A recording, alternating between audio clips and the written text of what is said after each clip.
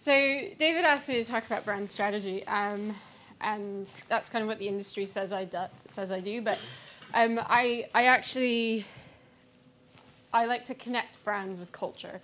That's really what I do. I think it's uh, it's more meaningful. So um, I'm just going to talk about culture because that's what I love. Um, and so yeah, that's where I grew up. Um, and you could throw a stone and hit Canadian water. Um, but because of that, I, I grew up on the border, and because I grew up on the border, and I went to school in Canada, I went to university in Canada, I moved over here nine years ago, and I've always kind of been an outsider, and I've always felt a, a bit like I never belonged anywhere. And because of that, I've, I've always been fascinated with culture and what, what defines different kinds of cultures and, and different people and why they do the things they do. Um, so this is me and some of my best friends, and we were feral as children. Um, and you know, we grew up in a in a hole in the woods. I, I grew up in a hole in the woods, and um, I think this was like my fourth birthday or third birthday or something. So um, yeah, that's the little bit of I have a past. I feel like kind of you, you come here and there's all these amazing people who've always, already done all these amazing things, and I'm like, shit, I'm too young. I, I feel like I'm I'm kind of just about doing things, so it's really really scary um, being just about to do a bunch of stuff. Um, so bear with me. Um, so there's two things. There's, there's insight and there's strategy. I just want to clarify the difference between the two. And it's as simple as insight's about looking for questions and strategy is about looking for answers. But um, questions are going to get you somewhere new, whereas looking for answers don't, don't get you anywhere really. Um, and so what questions reveal are really interesting cultural roles. And so throughout this, I've put a bunch of questions um, because I'm hoping that it'll be useful. That's something that I thought, you know, if I'm going to come up here and waste 20 minutes of your time, at least it'll be a useful waste of time. So um, insight reveals uniqueness and opportunity. This is, I think that strategy is pretty much the same. I think people buy things for very similar reasons. But I think that when you really understand people and you really care about people, that's, that's an important point. Um, and you care about your connection with them as a brand, that's when you understand a much more interesting opportunity to speak to them. So, um, quick show of hands, how many of you either work in an area or are creating a business with the word social somewhere in the first kind of line of what it is that you do? So, right. Um, I kind of want to debunk a bunch of words today. One, I want to debunk the word purpose. It's a word that gets used a lot now. Um, I don't think we really know what it means. I also want to debunk the word social, and I want to debunk the word storytelling because I think that, again, it's a buzzword. A lot of people like to talk about it, but what does it really mean? Um, to me, social is about connecting people, and it's about people connecting. Um, and about two years ago, I, so I'm a cyclist. I I grew up in a bike shop, and I've always really enjoyed riding a bicycle. And um, two years ago, I was approached by a little brand called Rapha, and they said, "What do women talk about when they're on a bicycle?" And I thought, okay, well, this is going to be an interesting conversation. Um, so um, I spent 18 months working with Rapha to sort out their global women's brand strategy. So how to, essentially that question of how, what do women talk about when they're cycling is a question of what, how do women connect through cycling? That's actually the question. And so for Rapha, it was, it was about how could Rapha be a part of that connecting? Um, so I, I was quite lucky. I got to go on a couple of photo shoots with them and really live and breathe the brand for a couple of years, and um, and it was interesting. So um, the most important job I think a brand can do is to connect people with culture. Um, in terms of of all the things, you know, products can do functional roles. They can keep you warm. They can degrease your sink. They can, you know, they can keep you fed. But actually, a brand is what connects you to other people. So, um, what is culture? Just a quick definition. Culture is the way we do things. It's the it's the way we think about things, the way we talk about things. Um, but actually, cultures are the ways we copy each other. This is the simplest way I have to think about what culture is, um, because it's what spreads. Um, cultures can be big, cultures can be small. Um, baking is a culture. Cyclocross is a culture. Parenting, uh, there's lots of different parenting cultures. Italian football fandom is a kind of culture. Um, cultures are what make us feel connected with each other because they make us feel a part of something much bigger than ourselves, and that's really important. Um, especially now, we're so fragmented. You know, we're all kind of face down all the time, connecting. Um, and so, every brand is a part of at least at least one culture. So the first question I almost always ask my clients is what cultures is your brand actually a part of? And the really great thing about this is that it's infinite. There are an infinite number of cultures out there. And if you can't find one that fits, you can invent one. That's the brilliant thing. You can, you can invent a culture, you can grow cultures. It's fantastic. Um, so a lot of people talk about purpose. I like to talk about pursuit because a pursuit is what you're trying to accomplish within a culture. So it's it's you probably have more than one pursuit. There's probably a lot of things that you're trying to do, but one usually stands out. And your pursuit is that really big story that your brand is telling. So with Rapha, we were trying to we were trying to get women to feel like cycling was an important enough part of their life to invest in. And if that's going to be, if cycling is going to be an important enough part of your life to invest in, you have to tell stories that are important to women and stories like friendship and confidence. Um,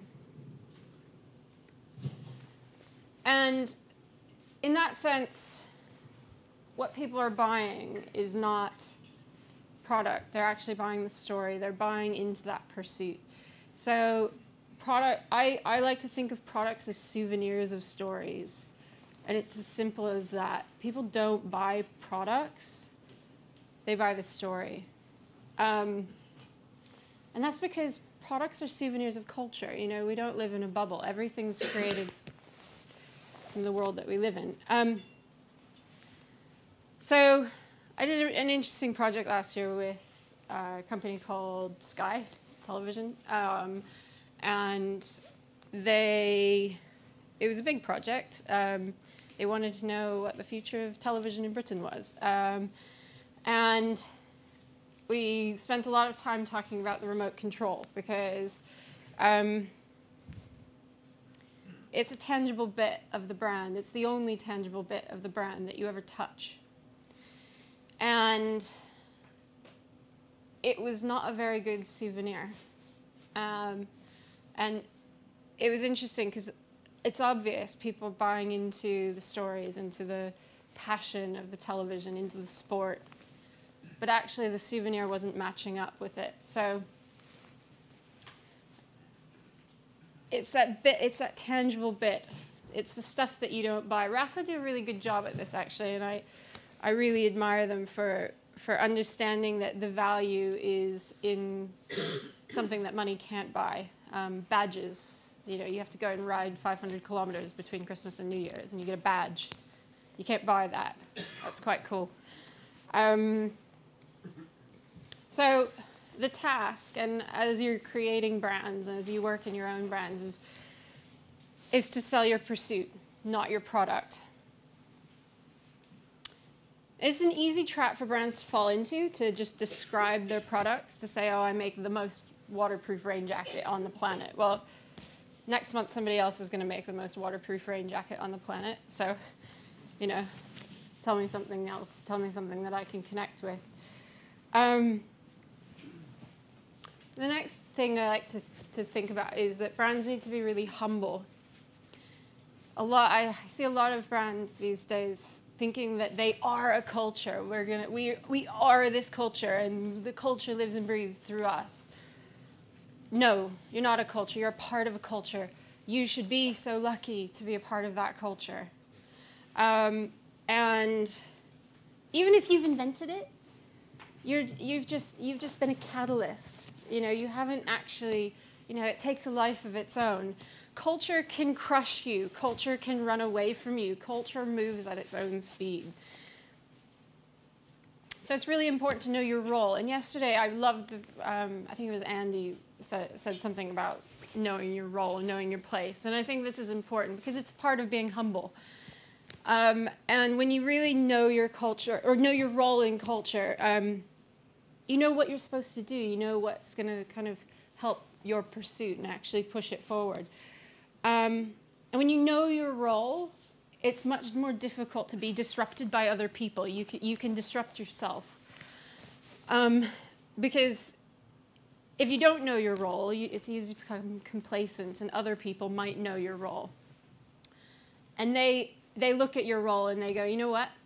They're not doing their role very well. So we're going to do it better. So the, the question I say is, is that there's a, there's a sort of a set of words. Is this brand connects people through what? So this is one of my favorite brands, um, Lurpak butter. Lurpak connects people through nostalgia, through family, through comfort, through baking pride. The list goes on. This is another one of my favorite brands if you haven't heard of it. Um, Poler is, is based out of Portland. They're just a couple of years old, but um, Poler connects people through bromance, through adventure photography, through West Coast America style. Pinterest. I love Pinterest. I'm a girl. Um, it, it connects people through gathering behavior, like hunter, hunting and gathering. You know, this is like digital gathering. I love that. It's, it connects people through mood boards and through recipe culture and through, through weddings, through wishful thinking, through curation. Of course, Rapha connects people through road cycling, through the passion of road cycling, through suffering, um, Rapha connects people through male and female bonding. Rapha connects people through nostalgia. But also, Rapha connects people through filmmaking. And I think this is one of the most important things about the brand is that they, whenever they make a film, it's got to be good enough to stand up against any other great film. This is an insurance company called Dog Tag. Again, if you haven't heard of them, they, um, they're worth looking up. They they'll insure any adventure, basically. And they really understand that when people have free time, it's important to them. Um, and you don't want to waste your, your free time. So if this, you've gone skiing and you get, you know, the lifts aren't operating, they'll cover that. Um, so they understand their role in going off the beaten path in terms of confidence.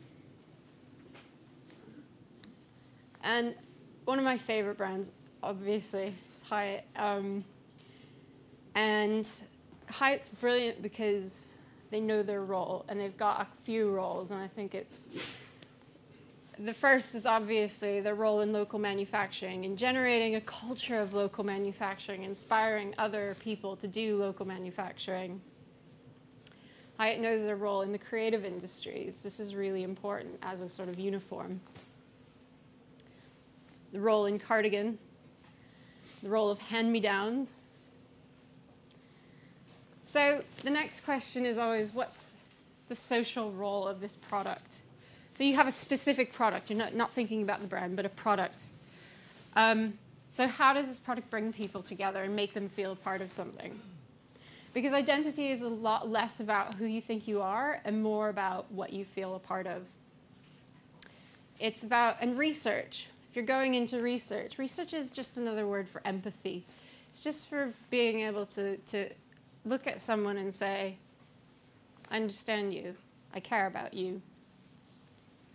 So another question, what wider cultural myths are associated with your product? So butter, it might be fat, it might be realness, home life, cravings, parenting, reward, obesity, grandma, heritage, comfort, pleasure, baking, farming, sauciness. How are value systems changing? Um, this is a question often overlooked, and this is a question of politics, economics, the environment, technology. What is it about you? Everyone brings themselves into their brand. So remember to think about you as a part of it. Um, so the strategic task is not to sell stuff.